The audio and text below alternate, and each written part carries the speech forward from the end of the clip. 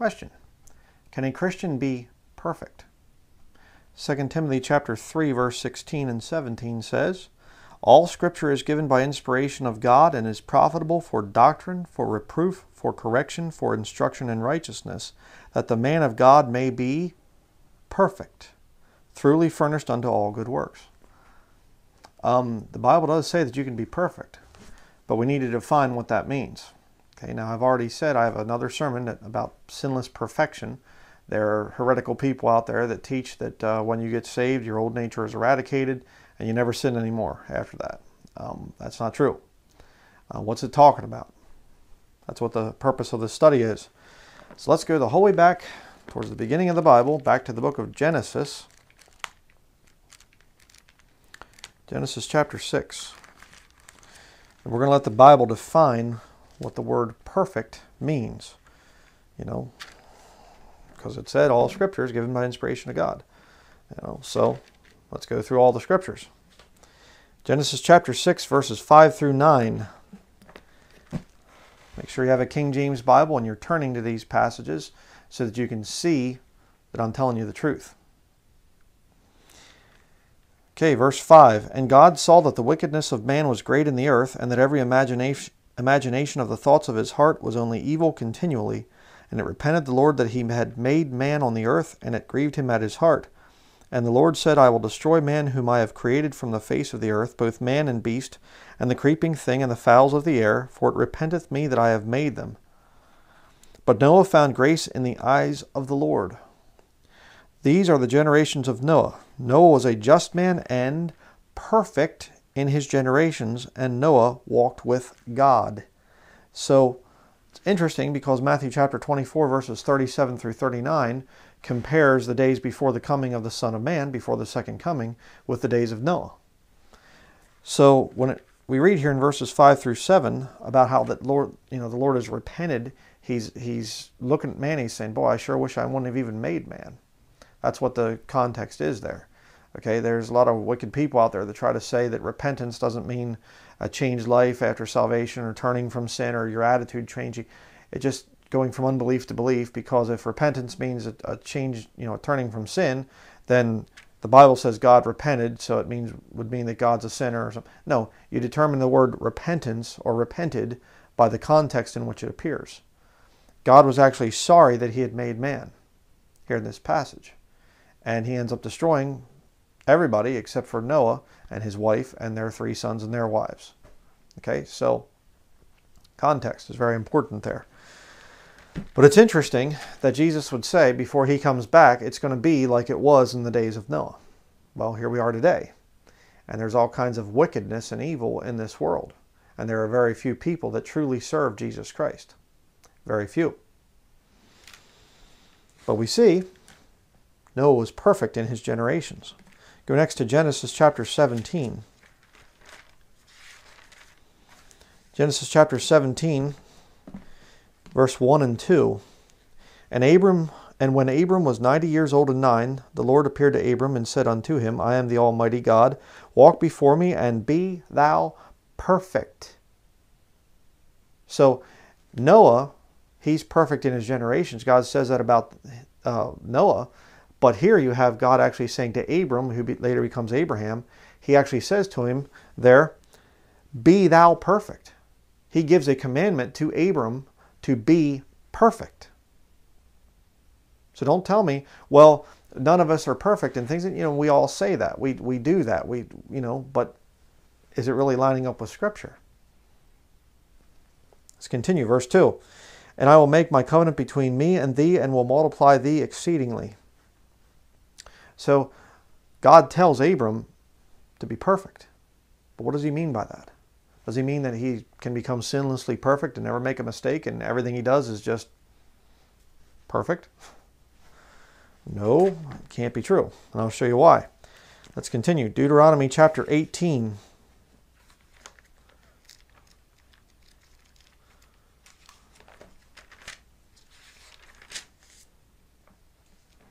Deuteronomy chapter 18, verse 9, down through verse 14.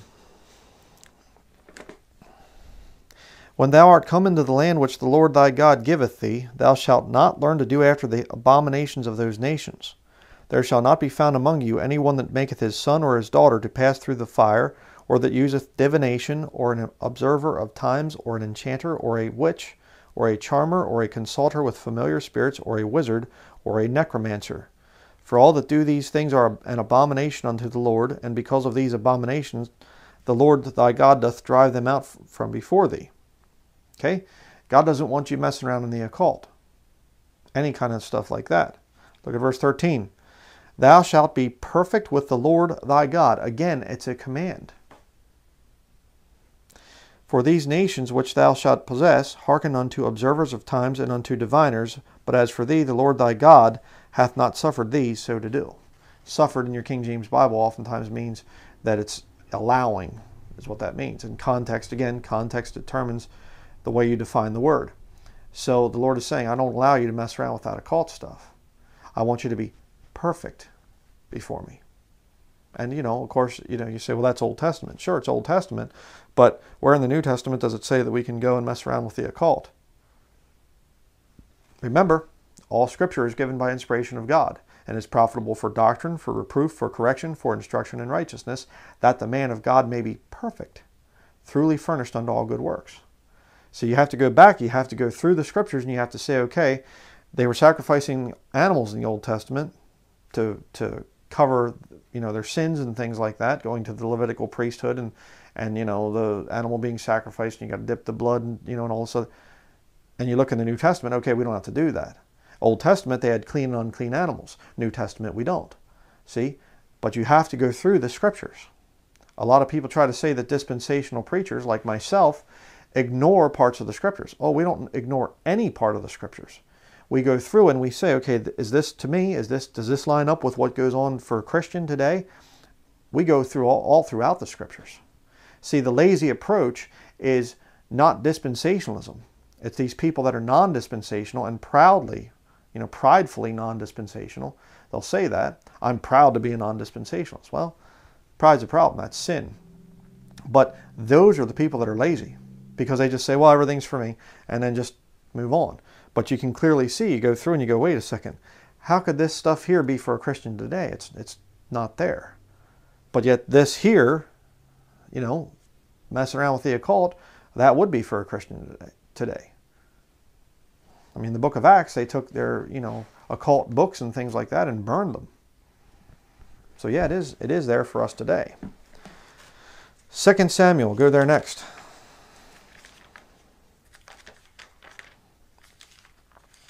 And if you're dispensational, you'll also understand another thing, and that is that uh, you have, before the law is given to Moses, the Levitical law and everything else, uh, many of those things are very much still applying to us today. But we've seen already the command to be perfect is there before the law and also under the law.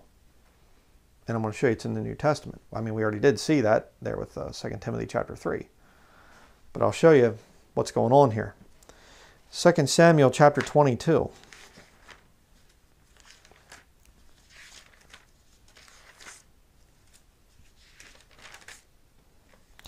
Second Samuel 22, verse 31 through 33. As for God, his way is perfect. God's way is perfect. I don't think anybody would argue that. The word of the Lord is tried. He is a buckler to all them that trust in him. Let me just stop there for just one minute. What book has been tried more than this King James Bible? For over 400 years, this book has been tried and put on trial, and all these different ones come out the New Revised Standard Version, the Revised Standard Version, and all the different Greek texts and everything else. They all come out and they all attempt to dethrone the King James Bible, and yet they can never do it. A lot of them, they come out, and within a few years, they're, they're out of print. Nobody even wants them.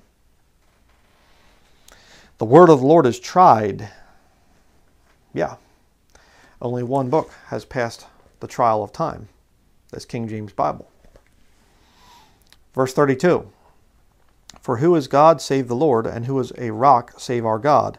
God is my strength and power, and he maketh my way perfect. You can't make your way perfect on your own with your own power and whatever else. it has to be God's help and His Word that's tried. Second Chronicles. Go to Second Chronicles.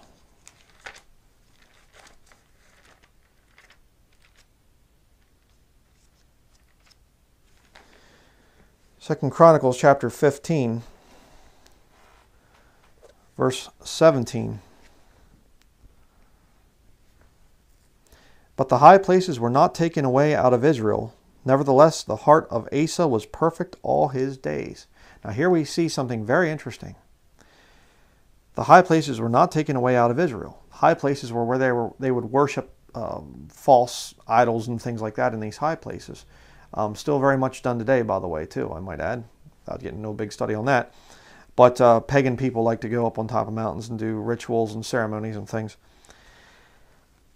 But here's the point he didn't do exactly everything that he should have done, and yet, nevertheless, the heart of Asa was perfect all his days. Hmm. Can you be perfect in heart and yet not perfectly sinless? Yes. That's the point of this study. I'm going to show you about that. Go next to Second Chronicles chapter 16, beginning in verse 7. Next chapter, in other words.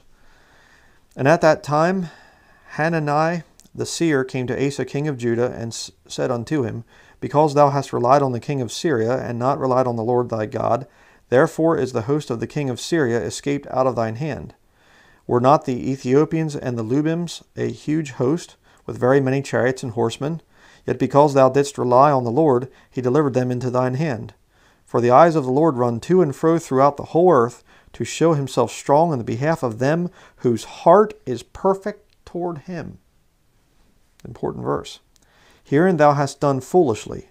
Therefore from henceforth thou shalt have wars. Then Asa was wroth with the seer, and put him in a prison house, for he was in a rage with him because of this thing, and Asa oppressed some of the people the same time. And behold, the acts of Asa, first and last, lo, they are written in the book of the kings of Judah and Israel. And Asa, in the thirty and ninth year of his reign, was diseased in his feet, until his disease was exceeding great. Yet in his disease, disease he sought not to the Lord, but to the physicians. Had to include that. You got to put that in there. You know, uh, most what the physicians, the medical establishment, most of what they're able to do is maintain the symptoms, symptoms management, and you know would be another way to say that. In other words, if you have high blood pressure, they can't cure the high blood pressure. They can only give you, uh, you know, pharmaceutical pills, which are based on petrochemicals, to keep your blood pressure down. But they can't cure it.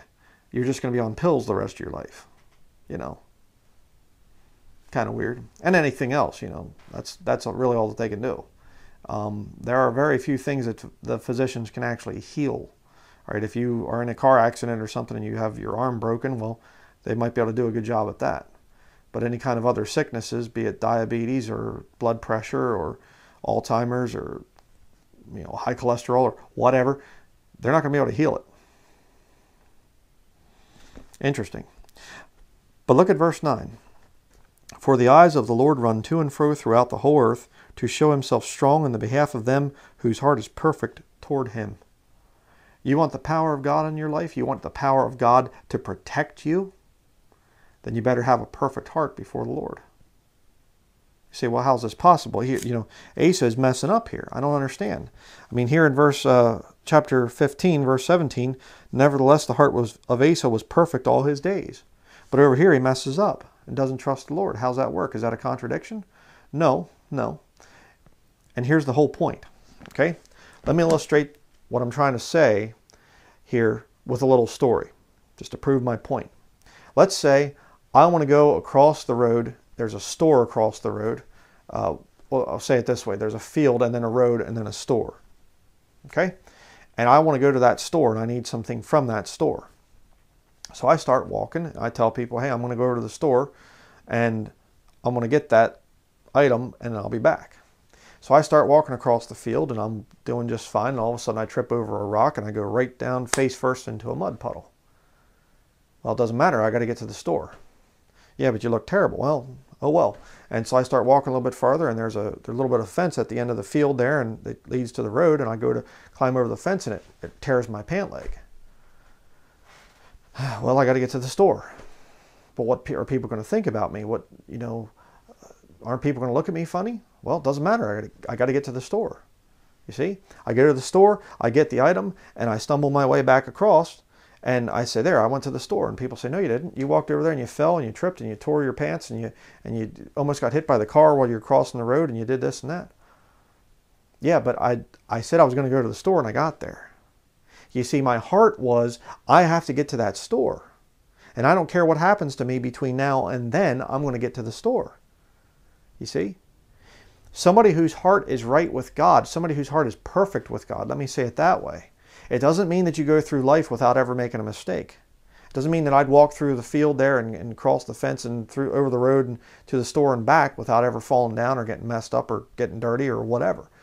No, it just simply means if your heart is, I want to be perfect before God, you're going to do that. And it doesn't matter what people think about you. It doesn't matter if you fall down and get messed up and whatever else. You're going to get back up and you're going to go right back at it. See, that's the point. A Christian will not be perfect sinlessly. Okay, or sinlessly perfect, I'll say it that way. You're, you're never going to get to the point where you never sin. Okay, that's not possible for a Christian. But you can be perfect as far as in your heart saying, Jesus is, is everything to me. You know, it's kind of like the stony ground here. The stony ground here, they're they're all they're they're a Christian and everything else, and all of a sudden things start to go bad, and they have no root in themselves. You see, and so persecution comes because of the word, and they fall away. They go right back to the world again. They say, "Well, I tried that Christian stuff. Yeah, I tried that. I used to listen to Brother Bryan Denlinger, and, and he was he had some good stuff, but I he was a heretic and blah blah whatever else, and I just went back to doing what I did before." A sow that was washed to her wallowing in the mire. The dog returns to his vomit. Bible talks about that. You see what I'm saying? Is your heart perfect with the Lord? I mean, is there anything that's going to knock you off course and make you doubt Jesus Christ? Oh, but you, Brother Bryan, you don't understand what some Christians have said to me. I don't care what Christians said to you oh, well, Brother Bryan, you've offended me in some things. I don't care if, I, if I've offended you. All right? Is your heart perfect with the Lord? You don't need me in your life to have a perfect relationship with Jesus Christ. Do you understand? I hope so. Next, let's go to Second Chronicles chapter 25. Second Chronicles chapter 25, verses 1 and 2. Amaziah was 20 and 5 years old when he began to reign, and he reigned 20 and 9 years in Jerusalem, and his mother's name was Jehoaddan of Jerusalem. And he did that which was right in the sight of the Lord, but not with a perfect heart. Hmm. You mean somebody can do something that in the sight of God is right, but yet their heart's not perfect with the Lord? Happens all the time as I said, kind of like the stony ground here that Jesus talked about in the parable of the seed and the sower and thing and things there. There are people that will do right in the sight of the Lord, but their heart's not perfect, you see. And all it takes is just a little bit of a, a knock and from a Christian or from a ministry or from a this or from a that, and they go, oh, and they just throw the Bible down and they, oh, I'm going back to the world again. Why? Their heart wasn't perfect. You see? Is your heart perfect with the Lord? Job chapter 1.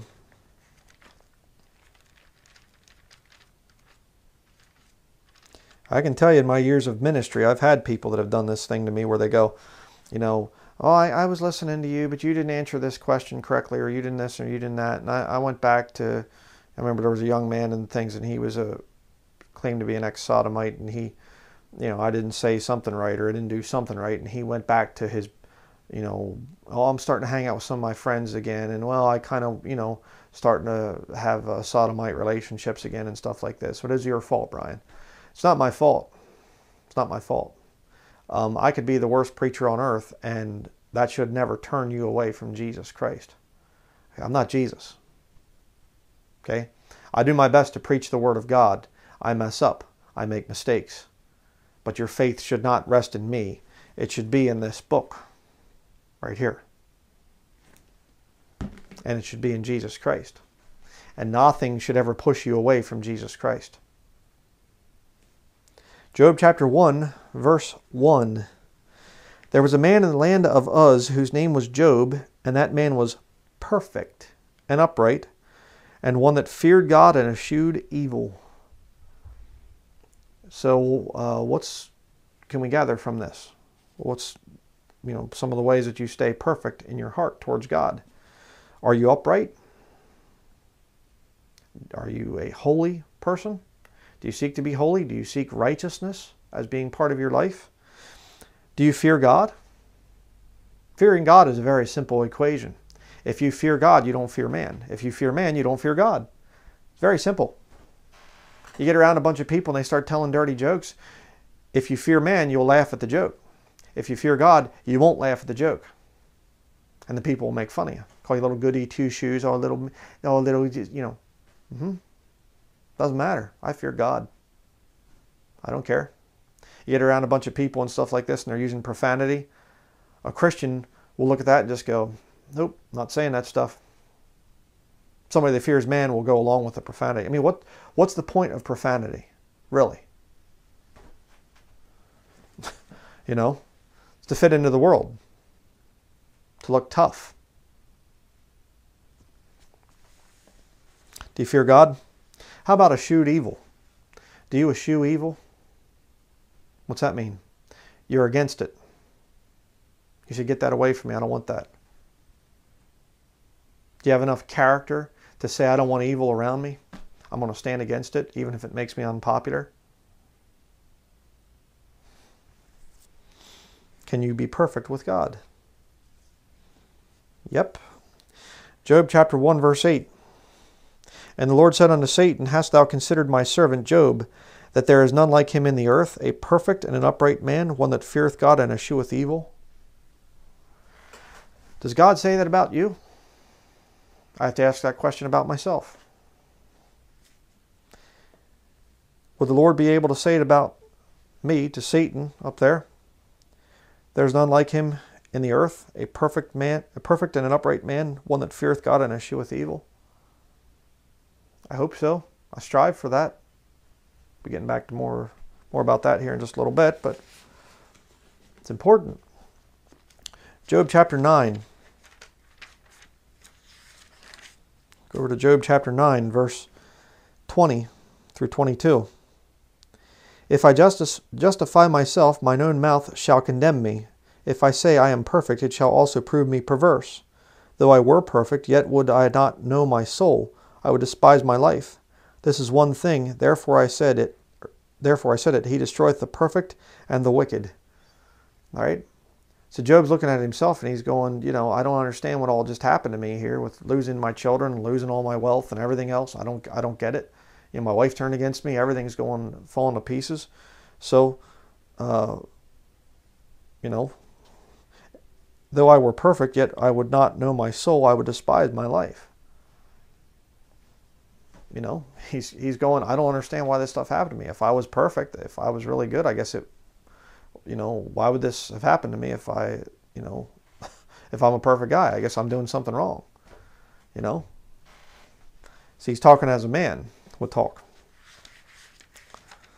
He's questioning, why did God let this happen? Go to Job 38. That's exactly what people will do when they, you know, go through trials and things like that. But see, one who's perfect in their heart towards God is not going to say, well, I don't, I just, maybe God's not even real or, or I, I don't know why God would have done this. And, and, you know, and we all struggle with it. We all have those experiences like Job had. You know, we've all been through trials and, and tribulations and things like that where you just feel like, you know, what's going on here, Lord? I don't, I don't get it. Look what happens here. Job 38 verses 1 through 4. Then the Lord answered Job out of the whirlwind and said, Who is this that darkeneth counsel by words without knowledge? Gird up now thy loins like a man, and like a man, for I will demand of thee, and answer thou me. Where wast thou when I laid the foundations of the earth? Declare if thou hast understanding. God has to come along in a whirlwind. I mean, think about that. This tornado's coming right towards where you're sitting, and it stops, and then God starts speaking out of it. Kind of a humbling experience, I'm sure. But the Lord starts to put Job in his place and say, hey, you're saying a lot of foolish things here. That's what happens when you are perfect in heart. And all of a sudden, God lets some bad things happen in your life, and you start to question. You start to say, wonder if the atheists are right. Maybe, the, maybe, maybe we did evolve, and maybe, maybe the whole thing. Maybe the, is the Bible even accurate? And I don't know. And you start to get all these doubts going through your mind, all this stuff. God might have to come to you and put you in your place. And if he does, then this needs to be your attitude. Job chapter 42, verse 1. Then Job answered the Lord and said, I know that thou canst do everything, and that no thought can be withholden from thee. Who is he that hideth counsel without knowledge? Therefore I have uttered that I understood not, things too wonderful for me, which I knew not. Here I beseech thee, and I will speak. I will demand of thee, and declare thou unto me. I have heard of thee by the hearing of the ear, but now mine eye seeth thee. Wherefore I abhor myself, and repent in dust and ashes. Yeah. Sometimes you'll get through something. Um, this whole land thing I went through back in 2017, you know, we went through it and just questioning what is going on. I mean, just with the thing of the uh, we had to sell the property and, and, and it was like just it sold in eight days. I'm going this is great. It's going to have settlement. We'll be able to get a property and we can move on with our lives. And then it just kept on they kept on putting postponing the date of things and and just uh, we went through so much stuff this past year and it was just i was getting angry and i was just going lord what's going on here? I need to know what to do. And, and it was frustrating and you get to the end of the thing and you see how the lord led you the whole way and he got you exactly where he wanted you to be. And the whole time you're, you're struggling with even trusting him. And you, what do you do? I pour myself and repent in dust and ashes. His ways are perfect. And you can be perfect in heart, you know, and stuff. And, and, and you know, I am perfect in heart. I will say that. I'm not perfectly sinless. Uh, but I'm saying I love the Lord uh, none of you are going to push me away from the Lord. I don't care what people say about me. I don't care what videos come out about me. I don't care what websites are dedicated to hating me. I'm not going to turn on the Lord. There's nothing else to turn to. You see? I've gotten rid of anything else in my life that could get between me and, and the Lord Jesus Christ. There's nothing there. Yeah, I mean, you could you could pull in here a million dollars worth of, of whatever neat things and stuff like that and say, here, reject Jesus Christ, I'd say get your trailer off the property. There's nothing that's going to push me away from the Lord. But there are those times when I start to fail to trust the Lord. I have those Job experiences, and all of a sudden I start to kind of say, well, I don't really understand it. And then the Lord gets me through all of it and says, For we know that all things work together for good to them that love God, to them who are all the called according to his purpose boom, here's the answer to your prayers. And I uh, and all of a sudden I realized, boy, that sure was stupid. Me questioning the Lord all that time. And I abhor myself and I repent. Sorry, Lord, I, I should have I should never have thought those things. You'll go through that as a Christian. Go to Psalm 18. Continue here. Psalm 18 Verse 30 As for God, his way is perfect. The word of the Lord is tried. See it again there. He is a buckler to all those that trust in him. For who is God save the Lord, or who is a rock save our God? It is God that girdeth me with strength and maketh my way perfect. Like we read about back there in Deuteronomy. Mm-hmm. Psalm 37.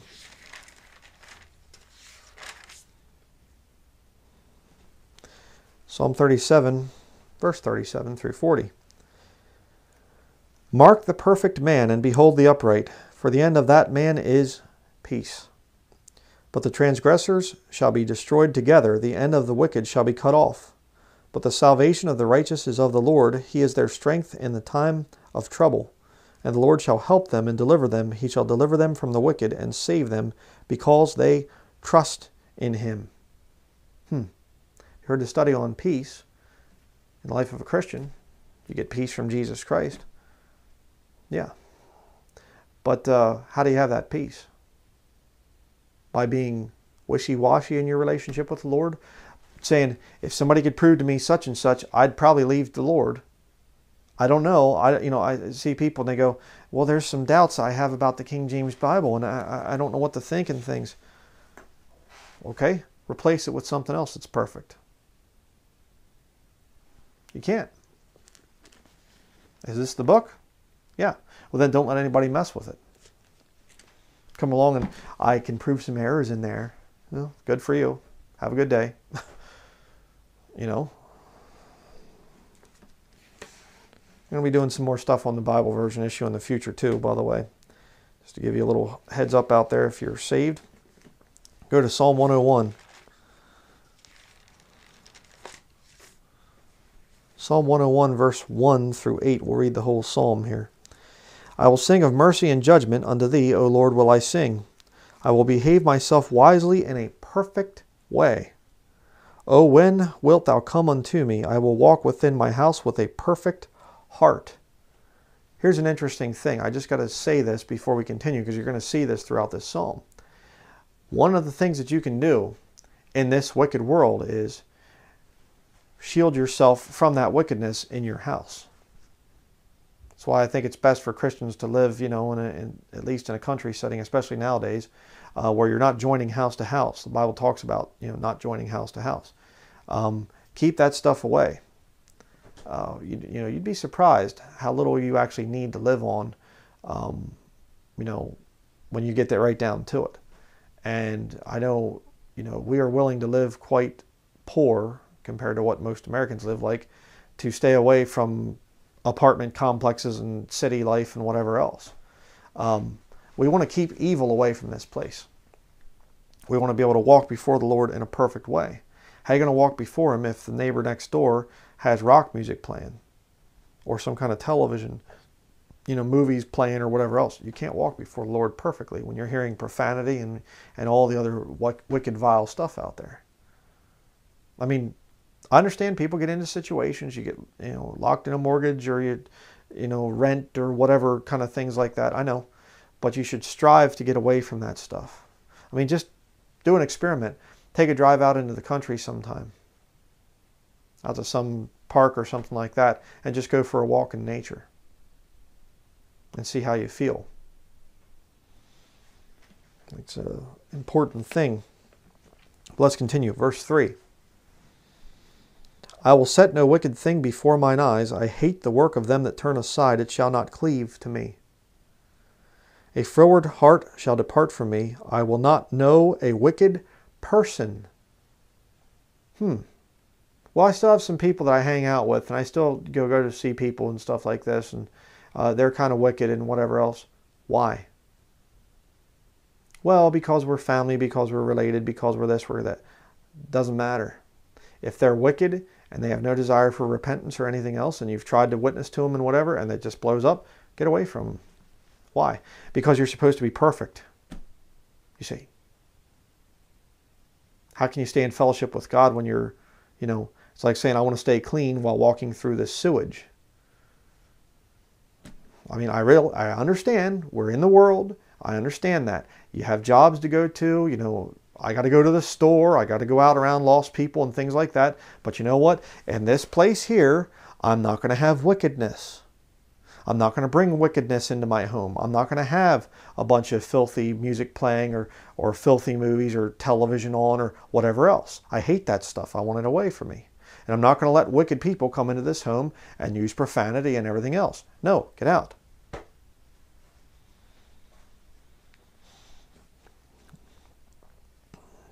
Continuing, verse 5 Whoso privily slandereth his neighbor, him will I cut off. Him that hath an high look and a proud heart will not I suffer.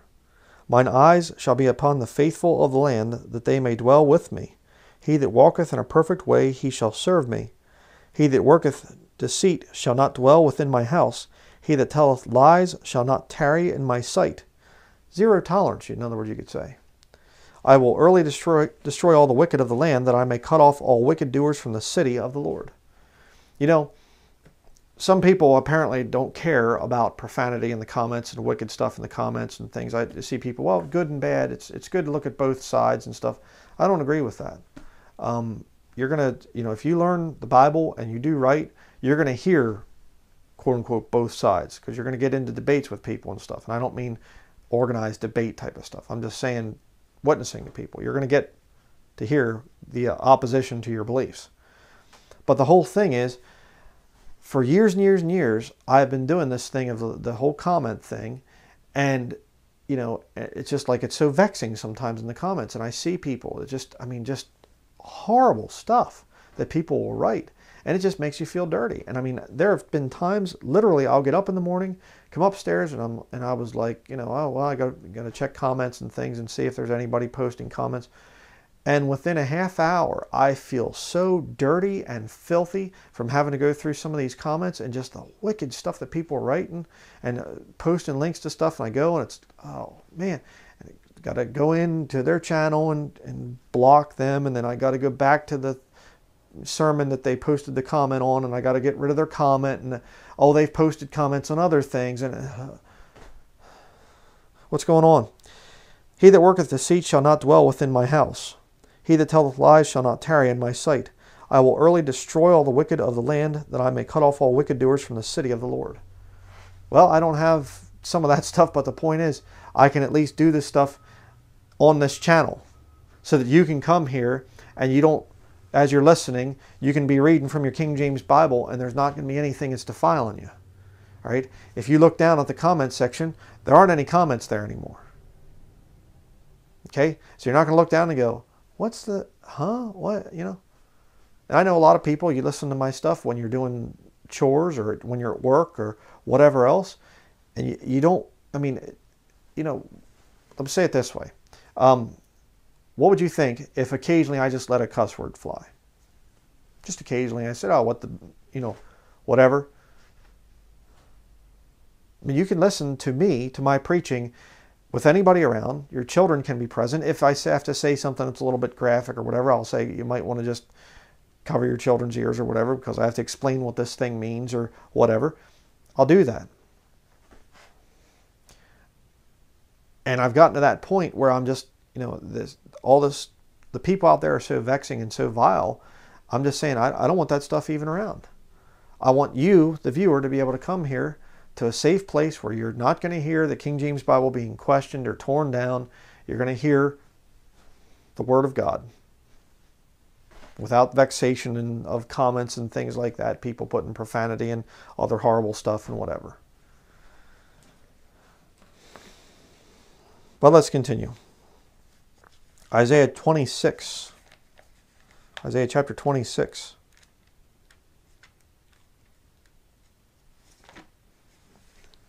Verse 3. Very good verse. Thou wilt keep him in perfect peace, whose mind is stayed on thee, because he trusteth in thee. Again, do you trust the Lord? How do you have a perfect heart if you don't trust the Lord? Well, I, you know, I don't really know if he can get me out of this situation. Well, I don't really know if he's going to, you know, take the body of Christ away before the time of Jacob's trouble. I mean, I've seen the arguments, but I still have my doubts.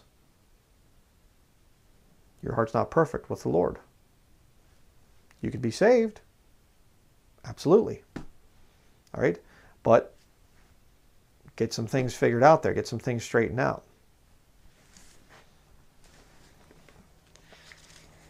Now let's go to the New Testament, the book of John, chapter 17.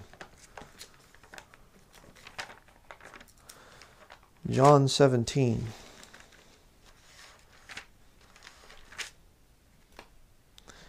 Beginning in verse 20. John 17, verse 20. Neither pray I for these alone, but for them also which uh, excuse me, for them also which shall believe on me through their word, that they all may be one as thou, Father, art in me, and I in thee, that thou that they also may be one in us, that the world may believe that thou hast sent me. And the glory which thou gavest me I have given them, that they may be one, even as we are one. I and them, and thou and me, that they may be made perfect in one, and that the world may know that thou hast lo- sent me and hast loved them as thou hast loved me. Okay? I got through the passage here, stumbling around a little bit. But the whole point is there Christian unity is supposed to show people that we're perfect in our love for the Lord Jesus Christ.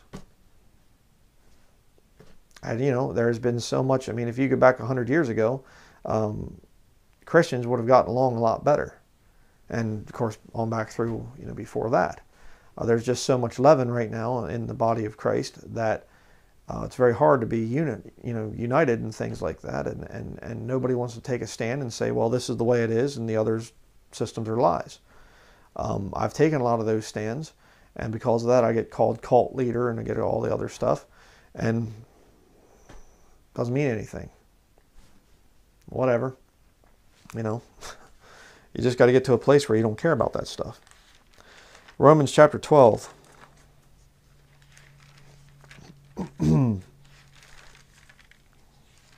Romans chapter 12, verses 1 and 2. I beseech you, therefore, brethren, by the mercies of God, that ye present your bodies a living sacrifice, wholly acceptable unto God, which is your reasonable service. And be not conformed to this world, but be transformed by the renewing of your mind, that ye may prove what is that good and acceptable and perfect will of God. I've talked about that in other studies. We're not going to get into a whole lot of the thing of the three different wills of God there, what those three different things mean. But the point is, you can be in the perfect will of God. 1 Corinthians chapter 2. Turn there next. 1 Corinthians chapter 2, verses 1 through 7. And I, brethren, when I came to you, came not with excellency of speech or of wisdom, declaring unto you the testimony of God. I can relate a little bit to Paul there. For I determined not to know anything among you save Jesus Christ and Him crucified. And I was with you in weakness and in fear and in much trembling. And my speech and my preaching was not with enticing words of man's wisdom, but in demonstration of the Spirit and of power, that your faith should not stand in the wisdom of men, but in the power of God. Howbeit we speak wisdom among them that are perfect, yet not the wisdom of this world, nor the princes of this world that come to naught. But we speak the wisdom of God in a mystery, even the hidden wisdom which God ordained before the world unto our glory. Hmm. Again, what I've been saying, that your faith should not stand in the wisdom of men, but in the power of God. All right? I'm not going to be perfect in my speech and things, and I'm not sinlessly perfect. But the whole thing is, my heart is perfect with God there's nothing that's going to come to the point where I'm going to say, hey, you know what? I decided to leave the Lord. I'm going to monetize my account. I'm going to start making videos on some worldly thing. And I'm just going to ah, forget Jesus. Ah, that was all just fake or something. That's not going to happen. It's not going to happen. All right? And what happens when you have Christians that go through this thing, or professing Christians that they go through this, and they say, well, I was a Bible believer for all these years and things like that. And then they go right back to the world that, that they supposedly came out of, you have somebody whose heart was not perfect with the Lord. That's what you have. Let's go to 2 Corinthians. 2 Corinthians chapter 12. Another way to be perfect. 2 Corinthians chapter 12 verses 7 through 10. And lest I should be exalted above measure through the abundance of the revelations, there was given to me a thorn in the flesh, the messenger of Satan to buffet me, lest I should be exalted above measure. For this thing I besought the Lord thrice, that it might depart from me. And he said unto me, My grace is sufficient for thee, for my strength is made perfect in weakness. Most gladly, therefore, will I rather glory in my infirmities, that the power of Christ may rest upon me. Therefore I take pleasure in infirmities, in reproaches, in necessities, in persecutions, in distresses, for Christ's sake. For when I am weak, then am I strong. Kind of reminds you of the story of Job, doesn't it? Yeah.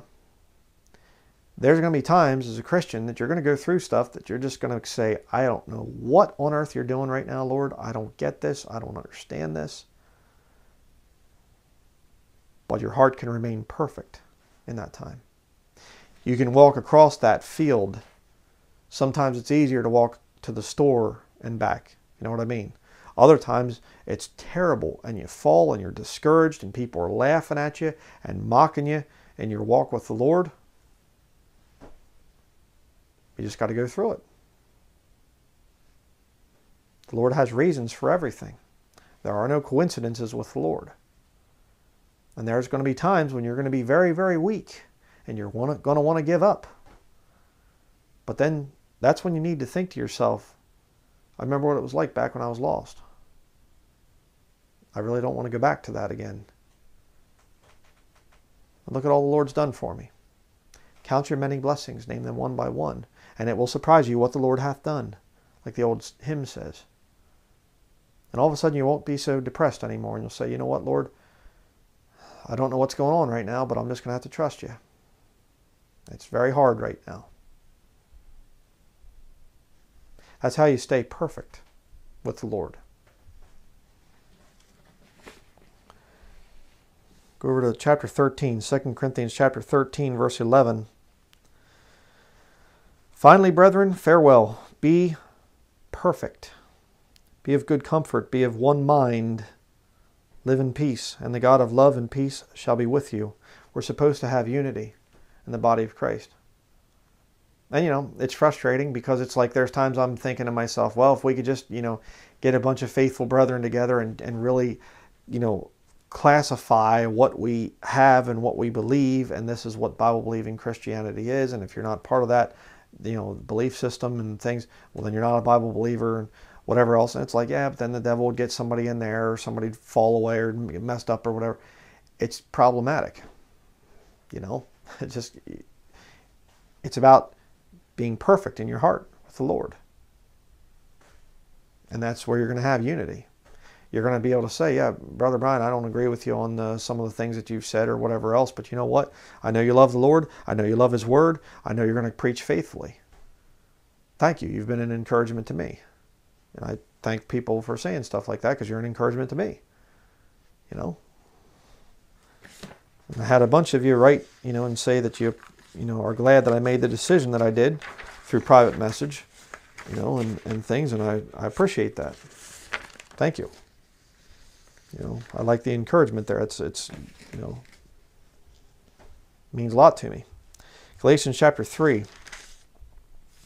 And I had some discouraging stuff too, which is fine. Uh, Galatians chapter 3, verses 1 through 3. O foolish Galatians, who hath bewitched you, that ye should not obey the truth, before whose eyes Jesus Christ hath been evidently set forth crucified among you? This only would I learn of you. Received ye the Spirit by the works of the law, or by the hearing of faith? Are ye so foolish? Now look at this. Having begun in the Spirit, are ye now made perfect by the flesh? You say, see, see, Bryan Denlinger, you stinking heretic, you. You're the you're one of the worst preachers out there. You're trying to make people, you know, this legalistic system and everything else, you know, I, you know, can't count how many times I've been called a legalist and whatever. I'm not a legalist. Okay, first of all, that term legalism, I was going to do a study on what is legalism and whatever else, and I'm not going to do it because it's a philosophical term. And they do this. It's it's this whole thing of, okay, the Bible says that a young woman is to marry bear children, guide the house, give none occasion to, to, the adversary to speak reproachfully, for some are already turned aside after Satan, 1 Timothy chapter 5. And they go, but, okay, that's what we see. That's like the law, okay? And then what if, though, what if uh, um, there's a young woman who is lost and she's in a situation where she has to work and then she gets saved and she's still in that bad situation? See, how can we, you know, live under the law when we should have grace for her situation? It's this philosophical nonsense, is what this whole legalism thing is. And the whole point is the word legalistic or legalism or whatever does not appear in the King James Bible. And they'll say, well, the book of Galatians is about legalism. Uh, no, the book of Galatians, you know, from their standpoint there, you know, that you got to live by the standards of Scripture, and that's legalistic. Uh, no, what's going on in the book of Galatians is you have Jews that are going to the Gentiles and saying, hey, you're a Christian now, you're saved and everything else. Well, you're going to have to go back here to the Levitical law. That's what's going on. So the thing of of you can't this and you can't that, like the you know all the standards in the Old Testament. If you touch this, you're unclean till the evening. And and uh, you know Peter going and he's he's eating with the Gentiles and stuff like this, and then all of a sudden he sees some Jews coming and he, he withdraws himself. You know, after God showed Peter that there's no difference between clean and unclean, you know, I mean, who should have known better than Peter? But that's what's going on in the book of Galatians. It has nothing to do with you. You you don't really have to follow the New Testament um, to the letter. Okay, if there's some things in the New Testament where Paul says you're to do this, well, you don't really have to. That's not what's going on there.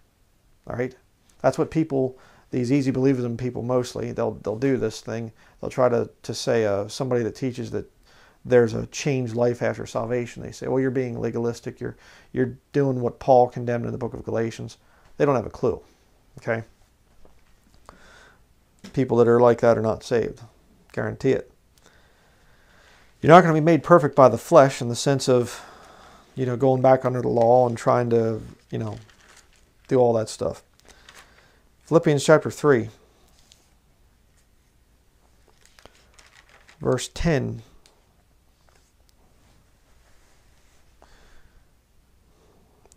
That I may know him in the power of his resurrection and the fellowship of his sufferings, being made conformable, conformable unto his death, if by any means I might attain unto the resurrection of the dead.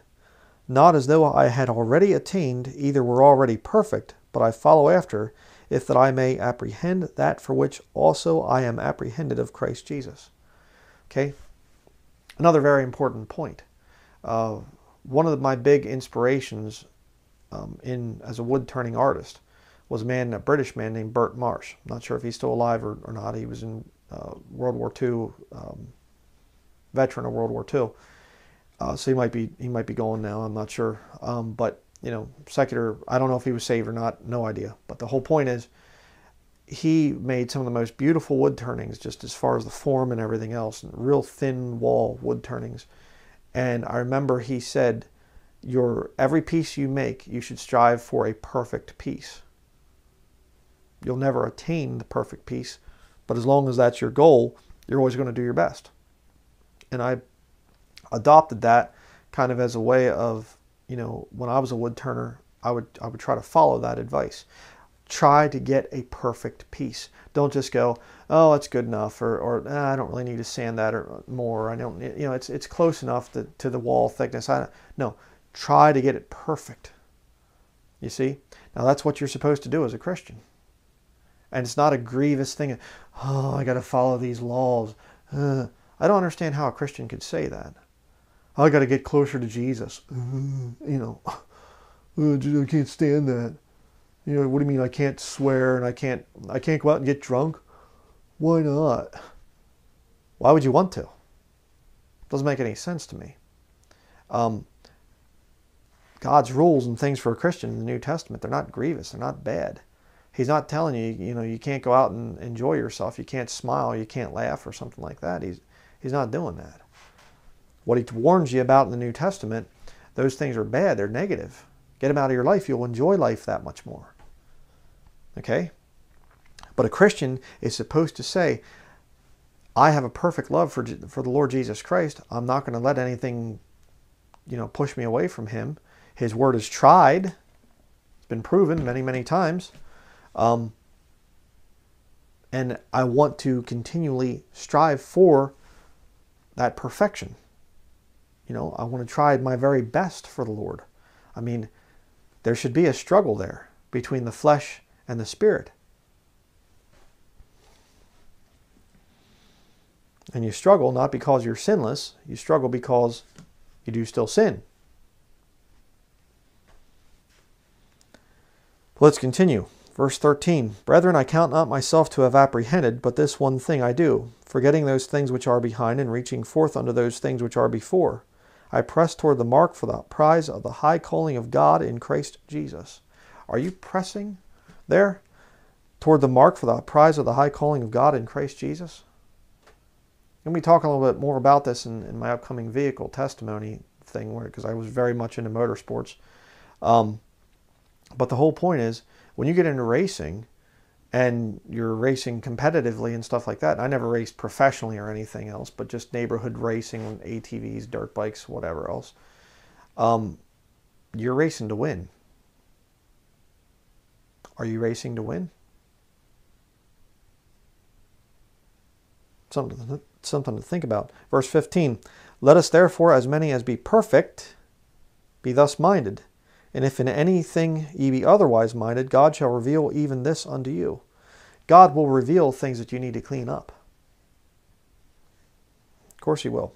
Verse 16 Nevertheless, whereto we have already attained, let us walk by the same rule, let us mind the same thing. Brethren, be followers together of me, and mark them which walk, so as ye have us for an ensample. You know, good practice to do as a Christian is to think about some of the great Christians of the past the Apostle Paul is a great role model for you, you know, as a young man. Um, think about, you know, some of the great Christians out there. Study the lives of some of the, the great men of God. It's a good thing to do. Verse 18 For many walk, of whom I have told you often, and now tell you even weeping, that they are the enemies of the cross of Christ, whose end is destruction, whose God is their belly, whose, and whose glory is in their shame, who mind earthly things. There are professing Christians out there who fulfill these verses, verse 18 and verse 19. They glory in their shame. Verse 20 For our conversation is in heaven, from whence also we look for the Savior, the Lord Jesus Christ, who shall change our vile body, like that it may be fashioned like unto his glorious body, according to the working whereby he is able even to subdue all things unto himself. Looking forward to the catching away of the body of Christ. But let's continue. Colossians chapter 1, verse 25. Whereof I am made a minister according to the dispensation of God which is given to me for you to fulfill the word of God, even the mystery which hath been hid from ages and gen- from generations, but now is made manifest to his saints, to whom God would make known what is the riches of the glory of this mystery among the Gentiles, which is Christ in you, the hope of glory. Where am I at here? Whom we preach, warning every man and teaching every man in all wisdom, that we may present every man perfect in Christ Jesus, whereunto I also labor, striving according to his working, which worketh in me mightily. I labor to be able to present every man perfect in Christ Jesus. That's why I preach against sin. I mean, what kind of preacher would I be if I didn't if I'd never brought up sin and I didn't want to make any people uncomfortable or challenge you to clean up things in your life? But see, people don't want that. Well, uh, Brother Bryan, there are certain sins that you can preach on, but other ones, no, don't preach on that. If the scriptures condemn it, I'm going to preach it like it or not. Colossians 4, Colossians chapter 4, verse 5. Walk in wisdom toward them that are without, redeeming the time. Let your speech be always with grace, seasoned with salt, that ye may know how ye ought to answer every man. All my state shall Tychicus declare unto you, who is a beloved brother and a faithful minister and fellow servant in the Lord, whom I have sent unto you for the same purpose, that he might know your estate and comfort your hearts, with Onesimus, a faithful and beloved brother, who is one of you. They shall make known unto you all things which are done here. Aristarchus, my fellow prisoner, saluteth you, and Marcus, sister's son to Barnabas, touching whom ye have ye received commandments. If he come unto you, receive him. And Jesus, which is called Justus, who are of the circumcision, these only are my fellow workers unto the kingdom of God, which have been a comfort unto me. Epaphras, who is one of you, a servant of Christ, saluteth you, always laboring fervently for you in prayers, that ye may stand perfect, stand perfect, and complete in all the will of God, the perfect will of God there. For I bear him record that he hath a great zeal for you, and them that are in Laodicea, and them in Hierapolis. Hmm. Now, if you do this little study here, there are five men that Paul names. And in verse 11, he says, These only are my fellow workers under the kingdom of God, which have been a comfort unto me. You mean to tell me that the greatest Christian that ever lived, the man who wrote a lot of the New Testament, most of the New Testament books, there, the greatest number of New Testament, you know, books written by one man is Paul. Um, you mean to tell me that uh, he only had five people, five men, as fellow workers? Hmm. I guess a lot of modern Christians would say that he wasn't very successful, kind of an outsider and whatever else. Or you could say that uh, he followed the advice that David gave about he's not going to put up with anybody, any kind of wickedness or sin, which is exactly what he says over in the book of Galatians, to whom we gave place by subjection, no, not for an hour.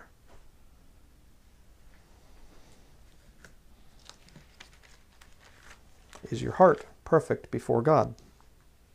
2 Timothy chapter 3. Read this earlier, but I'll read it again. All scripture is given by inspiration of God and is profitable for doctrine, for reproof, for correction, for instruction in righteousness, that the man of God may be perfect, thoroughly furnished unto all good works. We've been reading a lot of scriptures. That's what we do here. You say, well, this is all just uh, good and everything, and it's for we saw it was before law, under law, and now after law with a Christian, what about the time of Jacob's trouble? Does it continue? Can you be perfect?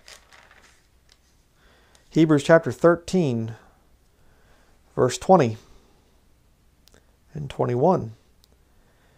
Now the God of peace, that brought again from the dead our Lord Jesus, that great shepherd of the sheep, through the blood of the everlasting covenant, make you perfect in every good work to do his will, working in you that which is well pleasing in his sight, through Jesus Christ, to whom be glory forever and ever. Amen. Even a Jew, they're a Hebrew, in the time of Jacob's trouble, even they can be perfect through the Lord. And you'd need to be in that time period.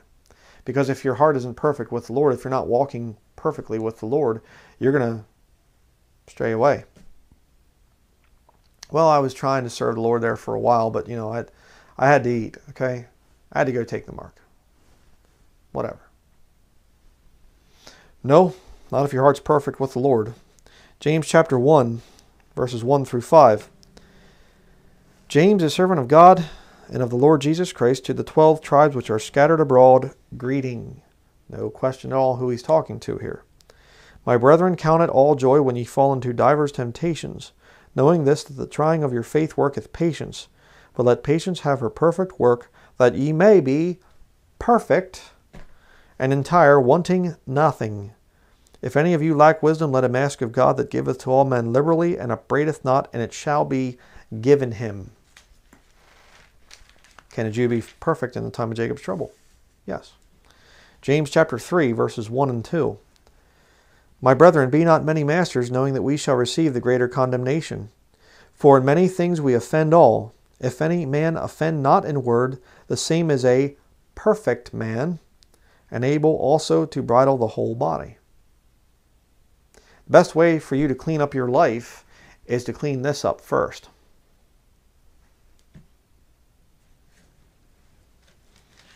It's very important. 1 Peter chapter 5. 1 Peter chapter 5 verse 10. But the God of all grace, who hath called us unto his eternal glory by Christ Jesus, after that ye have suffered a while, make you perfect, establish, strengthen, settle you. Hmm. God can make you perfect. 1 John chapter 4. 1 John chapter 4 verse 14. And we have seen and do testify that the Father sent the Son to be the Saviour of the world. Whosoever shall confess that Jesus is the Son of God, God dwelleth in him, and he in God. And we have known and believed the love that God hath to us. God is love, and he that dwelleth in love dwelleth in God, and God in him. Herein is our love made perfect. Perfect. That we may have boldness, boldness in the day of judgment, because as he is, so are we in this world. There is no fear in love, but perfect love casteth out fear, because fear hath torment. He that feareth is not made perfect in love. We love him because he first loved us. If a man say, I love God, and hateth his brother, he is a liar. For he that loveth not his brother whom he hath seen, how can he love God whom he hath not seen? And this commandment have we from him, that he who loveth God love his brother also. Again, we have a very weird perception of love nowadays, and that is that love means that you don't offend somebody. Um, that's not love. Okay, that's being fake. That's being fraudulent with someone. If you truly love the brethren, you're not going to worry about offending them if you tell the truth. But you'll tell them the truth because you love them. Now, contrary to what some people might think, I do actually love the brethren. I really do. Um, people that are coming in that are false, false converts and things like that, I'm going to be very rough on them. If they know the truth and I see that they're purposefully trying to turn people away from the truth, yeah, I'm going to be rough, like Jesus was in Matthew chapter 23, and like Paul was in Romans chapter 16. All right? That's what I'm supposed to do. But finally, let's end up with one more verse here Revelation chapter 3.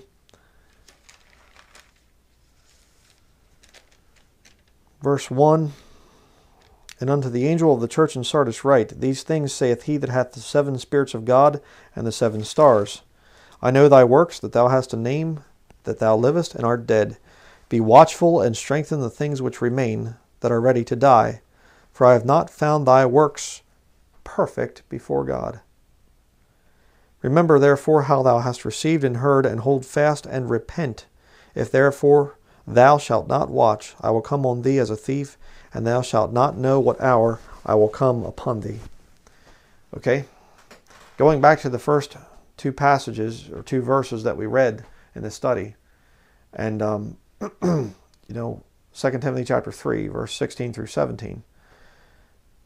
And that is all scripture is given by inspiration of God and is profitable for doctrine, for reproof, for correction, for instruction in righteousness, that the man of God may be perfect, truly furnished unto all good works.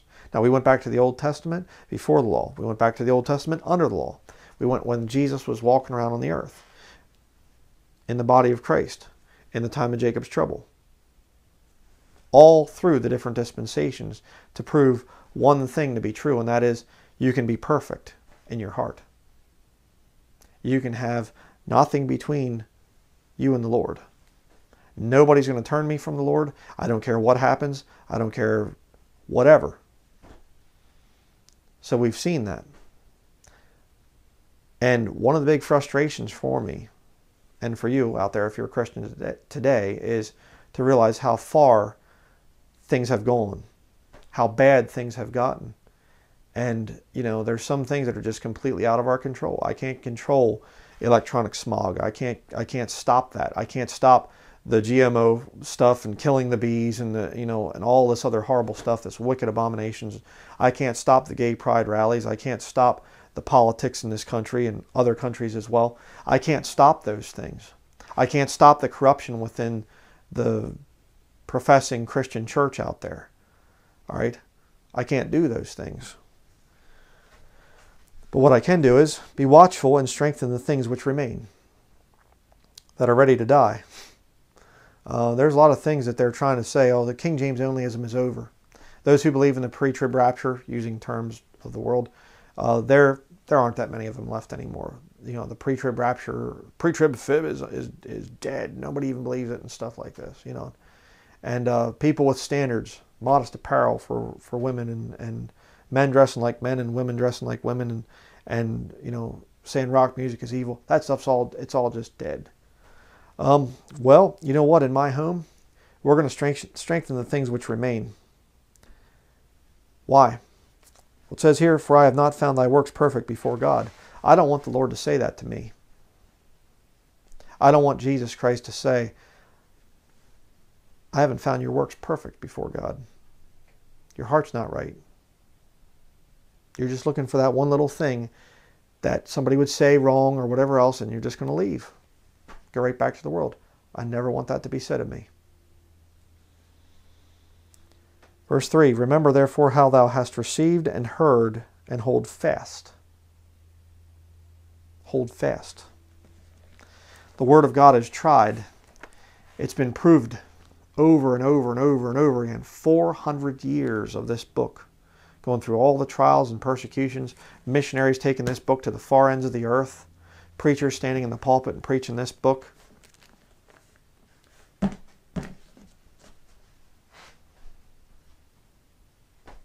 Are you going to hold fast to it?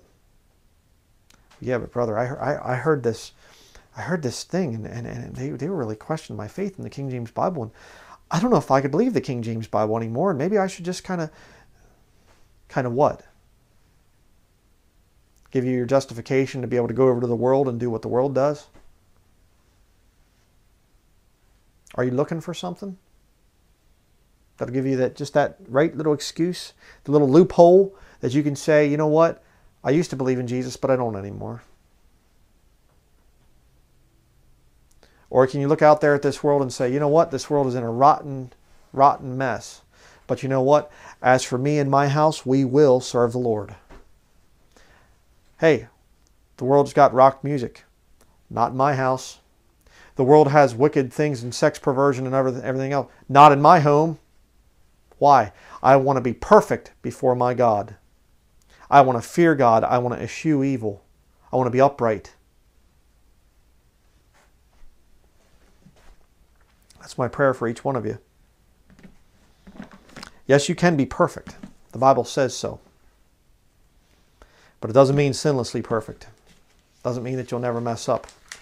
But it means that when you mess up, it isn't going to stop you from serving Jesus Christ. To use my analogy one more time, you're going to get to the store. It doesn't matter how many times you fall down and trip and fall in the mud and you get up and dust yourself off or wipe yourself off or whatever else. Doesn't matter. Your heart is fixed. I'm looking unto Jesus, the author and finisher of my faith. I haven't already attained. You see? But I'm going to keep pressing towards that. That goal that's out there. That's going to be it. Let's close with a word of prayer. Dear Heavenly Father, I just really do pray for strength for the body of Christ out there that, that uh, we would all stand by your word and hold fast to your word. And if there's anything that we're messed up in, Lord, that we would repent of it. But I pray that we would all strive to be perfect in our heart towards you. Your word says that we can be with your help. And I pray, Lord, that uh, the saints out there would not listen to anyone that tries to knock them off course, but they would just not even waste any time on that and just do what they can to serve you with their lives and to clean up their homes. And if they're in a wicked area, Lord, in a wicked environment, I pray that they would get away from that, whatever it costs them. And I just uh, ask all these things in Jesus' name. Amen. And I do believe, by the way, brethren, let me just say that I think that uh, as time gets worse, I think that we should all strive to get to a place where we can live at peace. Um, you might not have to go out into the middle of nowhere or something like that, you know, whatever. But if you're in downtown, some wicked city or something like that, do what you can, okay? Um, look up some kind of way to get out of there. Uh, do what you got to do, all right? Um, there's the whole tiny house movement and things like that, and I've I've looked at some of that stuff for years, and and people, you know, in all kinds of debt and everything else, and they they build these little tiny houses, things and stuff like this. They save up enough money to build one, and you can pull it behind a vehicle, and then they drive out someplace and they find somebody that they can rent part of the lot from and whatever. And you can live without electric, you can live without running water and whatever else. Um, they have sawdust toilets, you know, that they'll put in these things. You just a bucket with a toilet thing built around it, and you put sawdust on it, and then you can take it someplace and you can compost it. It's it's amazing. Uh, what we that's what we do. Um, we've been doing that for years and years and years now. Um, it's a you know you got to take care of it and things like that. Sure, whatever. But uh, there's there's ways, brethren. Um, a lot of us get locked into this mentality that you just have to have certain things in our modern world, and you can't ever depart from that stuff. Uh, you can you can live very simply. You can live very cheaply. Um, we live in a small town here. This place here is in a very small town. Um, but Lord willing, this year, everything goes according to plan, we're going to be living in out in the mountains, out in a neat area, and uh, you know we're going to still continue the video ministry, of course, and uh, be able to get a lot more stuff done. You know, living out in the country, but uh, I can tell you, this place here in this little town is way better than living in the city. Um, I don't know how people that are saved can live in the city. I mean, if you've been raised there, you might not know anything differently, but uh, like I said, just just spend some time out in the country. If I'm going to challenge you on that, if you live in the city right now, take some time this year. Okay, maybe it's too cold right now or whatever else, but take some time this year to actually get out into the country. Go out and spend a day just out in nature. Go to a park or something like that. And I don't mean the, the city park. I'm talking drive out to a state park or something like that. Go on a walking trail or whatever else. Take a bus out there if you don't have a car or whatever else. Spend some time out in nature and see the difference. Feel that difference. Again, I've, I've written back and forth with Christians for years now, and, they, and they're stuck in cities and they're just, oh, Brother Bryan, it's so vexing, and I can imagine. And they pray about it and they, they get their debts taken care of and whatever else, or they'll they do whatever they can to move out into the country. And a lot of them, I don't even hear from them anymore because it's just like they go, praise Lord. There's so much stuff to do out here and it's so neat and everything else. And thank you for your advice. Great. So um, it's going to be very hard for you to walk with the Lord and, and have that perfect, sanctified heart um, when you're living in, around wickedness all the time. And I know a lot of you, like I said, a lot of you have written back and forth with me, and you want to get out of the whole city thing and whatever else. I strongly recommend that.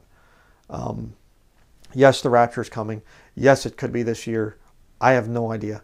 Um, but you know what? You know, years ago, share a little bit here. Um, years ago, I was very much into the mindset of, you know, the catching away is going to be just, it's going to be soon. I mean, it's just got to be soon and everything. And, uh, you know, I just, I didn't really make any plans. I just kind of thought, well, you know, I'm just going to, we're going to get as many gospel tracks out as we can, and I'm just going to serve the Lord best of my abilities and, and everything else and I had no thoughts about marriage, uh, about you know having my own place and and you know having a son. I mean, that would have been huh. And here I am in 2018, seven years later from when I was really hardcore into the whole believing the catching away is going to be soon. I thought it was going to be in 2011, you know, for the 400th anniversary of the King James Bible.